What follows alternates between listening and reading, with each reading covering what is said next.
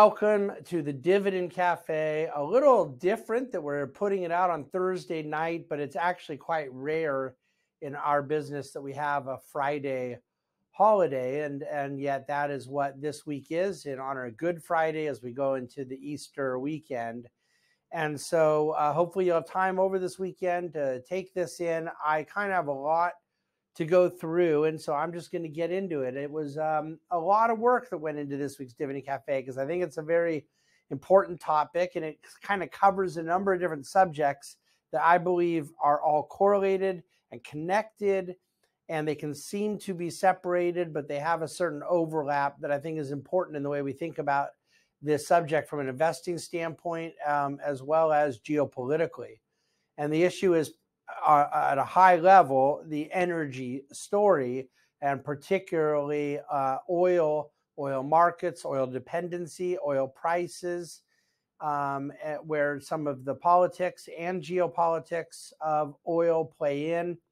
But the subject became a sort of weekend escapade last Sunday. And it's funny, it was just two weeks ago. I'm writing in Dividend Cafe about big um, Sunday disruptions in financial markets as we had bank failures and FDIC bailouts and Credit Suisse takeovers with by UBS and all those things. And and last Sunday I think was pretty big news, um, but wasn't so much related to financial markets and certainly banking distress. But the announcement from OPEC Plus that they were um, cutting a uh, let's just round up and use uh, well round down actually use a million barrels per day from their production quotas and that would kick in on May 1 and that they announced that as a target for the remainder of the year. So, you know, you're quite literally talking about a couple hundred million barrels coming out of uh, intended supply in global production and oil prices had been at about 74 $75 and they shot up to 80 $81 and the fact of the matter is that oil was at 66 the week before and um, in anticipation of some anticipation uh, excuse me in anticipation of some uh, announcement from opec plus had already shot um, you know up into the 70s but then got another kicker up into the 80s, and it's still sitting right in between 80 and 81 now as I'm recording, just before the market closes here on Thursday, just in advance of us going into this three day weekend. So, really, it kind of has stayed flat since Monday. It kicked up at the announcement and has now stayed right there in that 80 81 level. But what I would suggest is that um, OPEC Plus announcing this is setting a floor in oil prices that they believed would be coming from something else that is not coming from something else, and therefore uh, they are taking matters in their own hand. And I'm going to explain what that means in a moment. I don't know that 80 will prove to be a floor. Um, I do. I would not be surprised if we stay in the 80 uh, and in the 80s uh, throughout the rest of the year. I really would not be surprised. But yeah, I certainly think that 70, 75 as a floor is their intention. And uh, like I said, I want to explain in a moment, but I need to kind of build into it where they thought that four would come from and why it will not come from that, and and give you a little context as to what has happened and what it means for investors. Because I think there's a lot of aspects to this that we really need to better understand. Um, the first thing you need to kind of comprehend when we think about world energy markets is that the world changed with the U.S. fracking revolution, our ability to extract oil from uh, shale, and that the U.S. has had ample opportunity to become that marginal producer. Um, that we, uh, by nature of our ability to produce uh, 15 million barrels a day if we wanted to in a second, um, and choosing not to do so, um, has sort of allowed OPEC Plus to come back into this uh, key marginal producer role. Now, I pretty much will blame the Biden administration for most of this. There isn't any question that their energy policy has been to deny the opportunity for leverage to the U.S. um, to deny the expansion of our um, oil production capacity, to obstruct the approval of various permitting for projects. And, uh, you know, despite some things that uh, were a little surprising, like the recent uh, Alaska approval, for the most part, is taken both in rhetoric, I mean, explicit word for word verbiage, but then also in actual action, or in some cases, inaction, a decidedly anti fossil and anti crude uh, vantage point. And, and so I think uh, I put like nine different links to media appearances in Dividend Cafe. I think that um, I've criticized the Biden administration for their energy policies 50 times on television and in writing and whatnot since uh, the new administration took office two years ago. Um, but I will say that there's more to the story than just the downward pressure on production that is coming as a result of a policy decision. And there's more to it even than the sort of cultural moment of ESG of trying to constrain uh, uh, capital from getting to the energy sector, uh, the idea of various pension funds threatening to withhold monies, congressional pressure to banks to not bank the sector there, there, we know all of these, you know, left, right jabs and and combinations have been coming at the oil industry. That that's known, but I just believe it's appropriate and necessary to point out that there is also, in combination with these policy, political, and cultural um, issues, eh, the shale industry itself saying we're just not going to put ourselves in this position for the third time where prices become high as they were in 2014 and we lever up and and put a ton of debt and issue a ton of dilutive equity in anticipation of growing demand and high margins from high prices only to see prices tank and various financial conditions really work against them. They did it both in 2014 and paid the price in 2015 and 16 but then from 16 through 18, as things began to improve and things were looking great in 19, they did it again just in time for the COVID moment of 20. And, and I do think there's a sense of significant capital discipline um, that is evident from the shale industry. And I mean it as a, a positive. Um, some of it is just straightforward fiscal responsibility to keep debt ratios lower. And some of it is the headwinds caused by the aforementioned factors, political and cultural working against the shale industry. But what I would like to propose to you is that the Saudis are looking at the same chart that I want to put up on the screen right now that we can be looking at, and that is the um, trend line of U.S. production prior to uh, COVID and throughout those kind of great years I was referring to. And you see where production on a daily basis was headed out of all these different wells in regions uh, in with shale, primarily Permian and Eagleford, and then the trend line now. And that let's just say OPEC Plus doesn't believe that the first trend line is coming back, and that that new trend line is the new law of the land. They don't believe we will produce more. And so, what you see out of this both policy framework and shale industry discipline is um, the ability for the Saudis and the OPEC member nations to take it upon themselves to decide where the price level would be. And yet, to do so in the context right now, so now we're into a short term subject of uh, vulnerability with demand.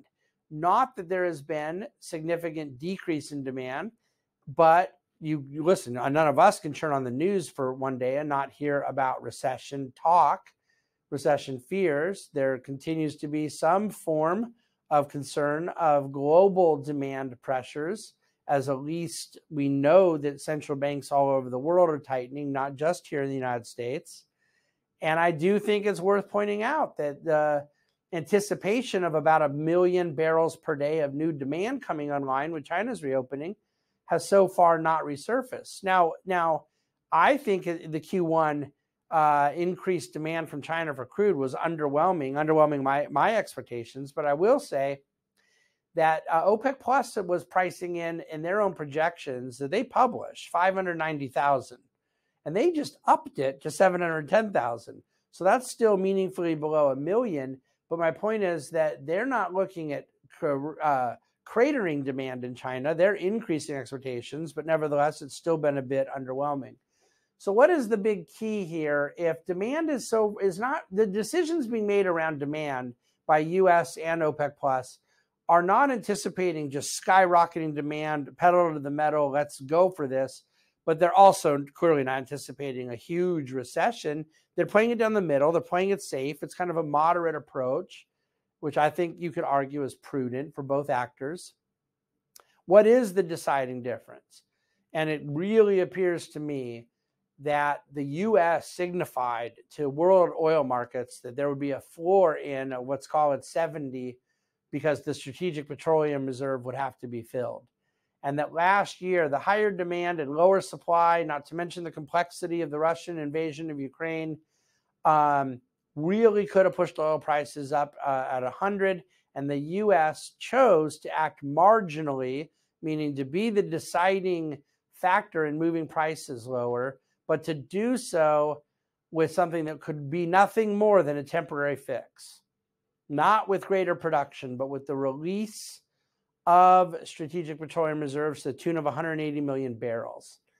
And that effectively, when I say a floor now going forward, because not the threat, the promise of refilling those reserves was on the table with price specificity provided in the policy memos and so forth and yet they, um, upon seeing those prices, filled no reserves, have made no commitments, have talked very ambiguously, and really led the Saudis to take matters in their own hands by saying, look, we can't count on the U.S.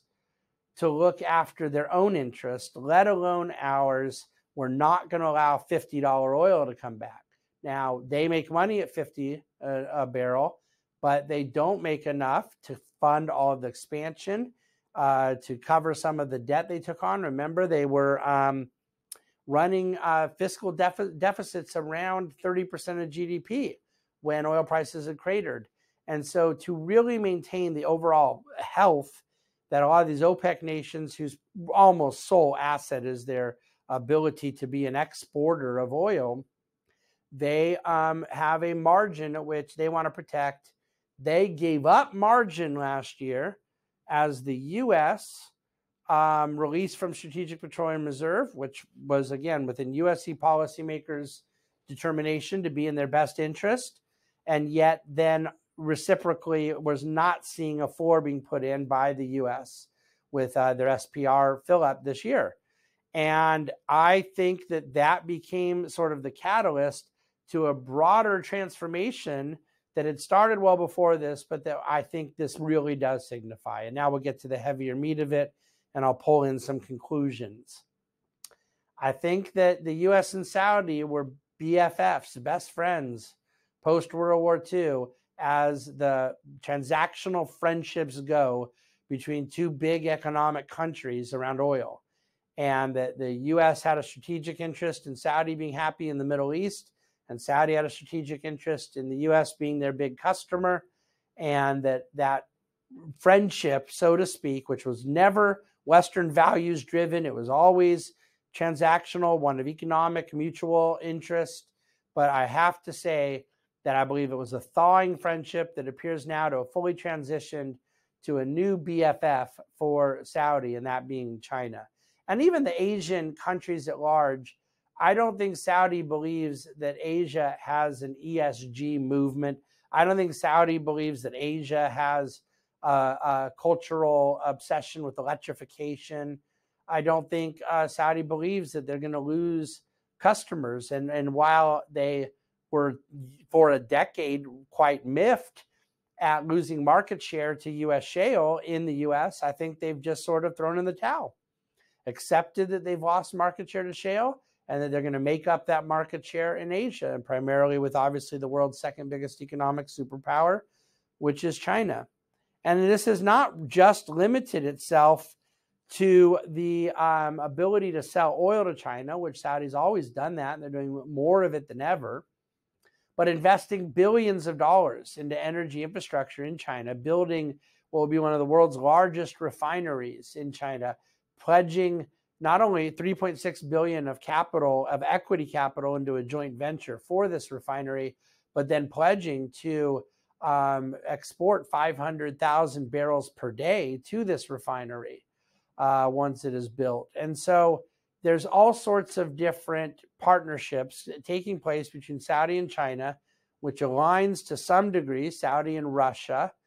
And it really does put some of those other countries' interest against the US. China, Saudi, Russia, their three respective primary strategic mandates are not aligned with one another per se. They are just not disaligned. So they're able to enter marriages of convenience that the United States cannot have right now with those three countries for various different reasons. But what is China's reason here? if we evaluate this economically to understand where it puts the US and what it means for uh, macro and what it means for energy investing, I've long held that the biggest issue China has is uh, the, the desire to have greater respectability on the world stage when it comes to trade, to uh, be able to denominate their own currency um, more and more which enables them to uh, regain some lost leverage because right now, particularly the United States, um, we buy a lot more from them than they do from us. So that creates a trade deficit, and that has to be dealt with, uh, uh, paid for with dollars in what we call the current account deficit. And by us settling our current account deficit with our currency, which is the world's reserve currency, it gives us a lot of that leverage. And China doesn't like it and the US does like it. And it's not about whether it's fair or unfair. It's about the fact that it advantages the US and disadvantages China. And there's not much they can do about it other than seek greater respectability for their own currency. And there's no way US is going to sell to China denominated in Chinese yuan. So they focus on a, other Asian trading partners and other European trading partners. Europe is by and large not that interested in dealing with Chinese currency, and uh, yet that is not true the Middle East and and and other countries that we're talking about here. So the currency story becomes a significant arm here, where Saudi starting to play footsies with China about yeah we'll let you buy dollars, uh, buy buy oil not in dollars, rather with yuan. Um, there's no contract that demands oil be paid for in petrodollars there's a tradition, there's a, a, a kind of precedent, um, and there's a benefit to oil being sort of free of varying uh, foreign exchange activity. Um, and yet, there's no question as to why China would want to be able to do it. And if it's going to gain uh, more of a customer for Saudi and further their interest of not being as dependent upon shale and being able to regain that leverage that they um, have forfeited to the shale industry and instead play ball with China directly, then I think that they're going to be willing to do that. And so, as I've kind of set the table on all these things that have happened and the various moving parts, I want to leave you just six quick concluding thoughts and then we'll call it a day. Um, in the short term, I do expect the floor to oil will be 70, 75, and I think it's entirely possible we'll sit in the 80s. But the problem with the not the problem, but the likelihood of 80 is you could get back up near 100. And I think from 80 to 100 for the US energy investor that you make a fortune. I don't think that's the price level at which you see demand destruction or it forces a recession. I just think it's incredibly profitable and it allows these companies to fund their ongoing capital expenditures with cash flow. And so they don't even need to tap debt or equity markets. And that's sort of the essence of the ESG movement is to somehow try to starve the shale industry from capital. But you can't do that if they don't need capital. And that's what these higher oil prices really do is probably put ESG out of business. It's just that it isn't, that could sound like a good thing for a lot of people, and certainly for those of us invest in the energy sector. But the problem is, if you get to $100 oil, you could really easily be back at 120. And at 120, at that point, you really are looking at an inflationary environment. You're looking at um, certainly uh, demand destruction and certainly um, uh, disarray that uh, would reach across most economies. And so it's not as simple as saying, well, they've moved a range from 60 to 75 up to 80 to 95. That very well could be the case, but 80 to 95 doesn't take a lot to have something push it up to 120, and then the game changes a bit. So that would be point number one, just regarding price expectations. Uh, number two, one way or another, in different elements of this escapade, um, and with different intentions to use it, China, Russia, and Saudi Arabia have gained leverage in their geopolitical objectives from OPEC Plus's decision. Number three, the U.S. has lost leverage with um, lower uh, uh, fear of the shale industry, lower concern from OPEC with what U.S. is doing in shale, and with our sort of self-determined uh, decision to not utilize and press the leverage, but rather to play around the edges with silly things like the Strategic Petroleum Reserve. And I think that the shale industry is um, still going to be one of the great innovations in world history. Um, and obviously represents a significant amount of meeting the demand for U.S. production. But global fear of the U.S. competition from shale has proven to be a huge lost opportunity. Number four, the China yuan benefits, that the specific currency accrual here, um, their ability to increase their own leverage and therefore utilize it by forcing um, other uh, trading partners to work with their currency. Um, again, marginally uh, benefits uh, China. Does this mean the dollar's going away? It does not. Does this mean the dollar's lost its reserve status? It's just silly. Um, there's no way the entire world is willing to say, okay, we now want to go with the CCP for all of the kind of reserve, particularly global commodity trade that takes place. Um, but marginally, which is where all economics is done on the margins, um, I think that this marginally delevers the dollar and its uh, control and, and, signifier of strength in global economics. And I think it, it benefits the Chinese yuan. Number five, with that debt ceiling showdown coming up between the House GOP majority and the White House, I would expect now you're going to see some energy provisions in that bill, something with a little um, demand for permitting approvals or or whatnot. There's a few things they could do. Some more substantive, some more symbolic. But I expect that this will end up being on Capitol Hill as a problem as well. And then finally, the Fed. All roads end up going back to the Fed for one reason or the other, it seems, much to my chagrin. And the question that has been posed this week is well, if you do get $100 oil, does that put enough upward pressure on headline inflation, which it certainly would, that the Fed uses that as cover to keep hiking rates? And I don't think anyone can say the answer is no. I would like to answer that the Fed would know that if core inflation is not going up and in fact is still going down, that when the lag effect of shelter is working its way through the metrics and you're seeing this disinflation, that um, uh, the anomaly of growing oil inflation should not be the deciding factor with monetary policy. But does it give them more cover than otherwise? I think it at least has to be considered as a different risk. So, it, the impact of monetary policy, the impact of geopolitical, the leverage with Russia, Ukraine, uh, and that conflict. There's so many factors all going on here that really can be reduced to those exercising the gift of natural resources to their own strategic geopolitical advantage. And there's also an equally profound story of countries that are choosing not to. Thanks very much for listening to. Thanks very much for watching. And thanks very much for reading The Dividend Cafe.